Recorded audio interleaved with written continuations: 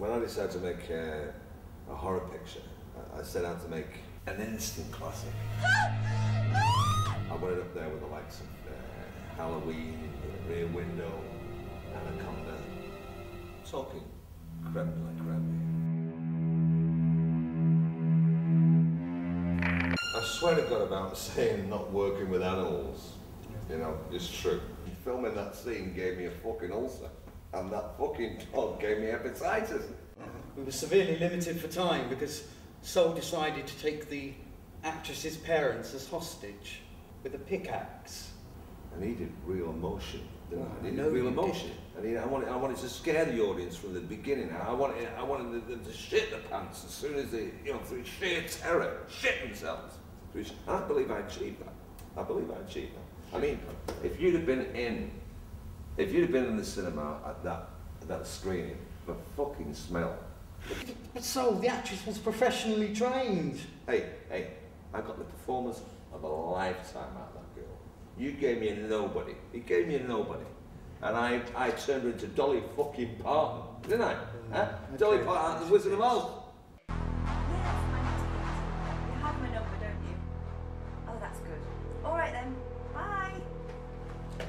I was watching my latest film, uh, Revenge of the Shark Nazis 2. Oh, uh, good film. And I was, uh, I was enjoying this real tasteful scene, you know, where the hero gets to sort of finally bone the girl. When it hit me, Katie needed a love interest, you know. And who better than the security guard? Just like that. Uh, I want him to be like Edward Woodward in The Fugitive. Jack, you idiot! What? I'm bored. Last one again, eh? The script, it was so, it was so deep and meaningful. Sounds like you might fancy me. Excuse me. There were layers there. Layers. You kept saying the word layers. Yeah, you said there was layers there. There was layers. There were layers there. There was layers. Definitely lay- There were layers. layer- kept using the word layers. There, you know. Layers. Very interesting. Mm. Yeah, my, my first choice uh, was Liza Minnelli. Uh, me and Lisa go way back, you know, way back. We did some stuff some time ago uh, together. Uh, so I called him up and um, they was thinking about this project and turns out there was scheduling problems. You know. Uh, don't get me wrong, I loved him in Lord of the Rings, you know, uh, he was playing a believable magical munchkin or um, gollywog or hobgoblin thing, whatever the fuck it was, I don't know, but, it, um, but I think if you asked him now, he'd, uh, he'd admit how much he regretted not being in that film. And I never let him fucking forget it, do I? No, no, No. no. Nice bloke.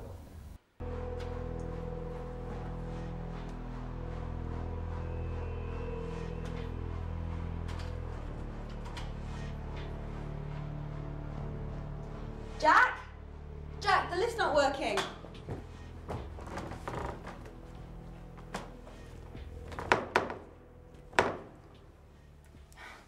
Very funny, Jack. Sol was very insistent that um, at one point Katie should take off all her clothes. Oh yeah, The studio wouldn't allow it, would they? goddamn producers. Ruining my pictures, stepping all over my creativity, my passion, my vision, I lost. One blouse. That's all I wanted. They wouldn't even let her take one blouse off. Well, they let her take one blouse off, but she had to have another blouse on underneath. you know what I mean? What the hell did they think I was making? You know, some, some kind of lame-ass U-rated kiddie film about a talking dog or something with the voice of David Duchovny. Oh, Jack, there you are. Ah, come back again, are we? What's going on? Everything's locked up. What are you talking about? Tell me something.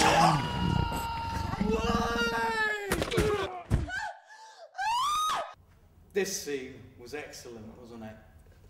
Our test audiences said they'd never wanted to leave a screening so much in all their lives as, as when they saw this.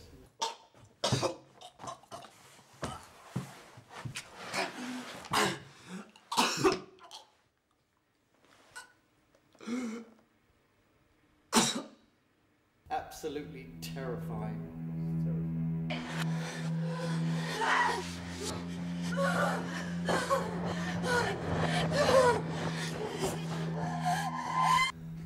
Uh, scene has particular resonance with me. I mean, if those arseholes had let me make the picture that I wanted to make, this is the part where she loses them pants.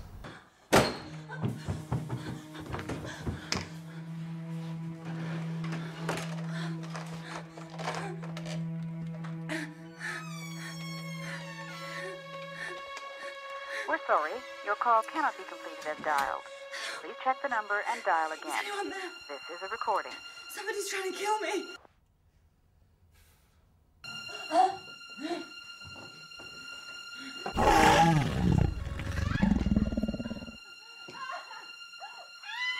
The running time was certainly an issue for me, but I think um, I think Sol had his reasons for going for the edit that we finally went with. When they were complaining about running time, when I told them what I tell my wife every night, three minutes is better than no minutes at all. You know what I'm saying? When it, when it comes down to quality, I'm talking about the, the Casablanca of, uh, of horror movies. I mean, Robert uh, Robert Niro was brilliant. in that film. Uh, Rob did the Oscars, Rob.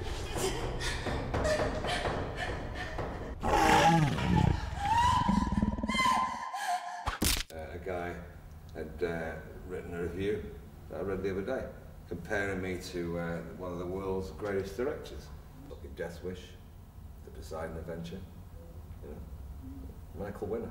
Now, this is the caliber that I'm talking about now. yeah, but, you know, I think the, I think the film is pretty powerful enough, you know, without the graphic nudity. Don't you think Whoa, so? whoa, whoa, whoa, whoa. Who asked you? Incorrect. I mean, Liza Minnelli, Michael Winner, David Duchovny, Edward Woodward, fucking Dolly Parton. I'm the guy, I'm the creative guy here. You know, you should just get on and and pay the fucking bills like you're supposed to. You know? Fuck. Huh?